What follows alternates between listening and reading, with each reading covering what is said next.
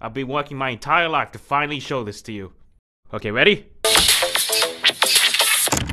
Uh.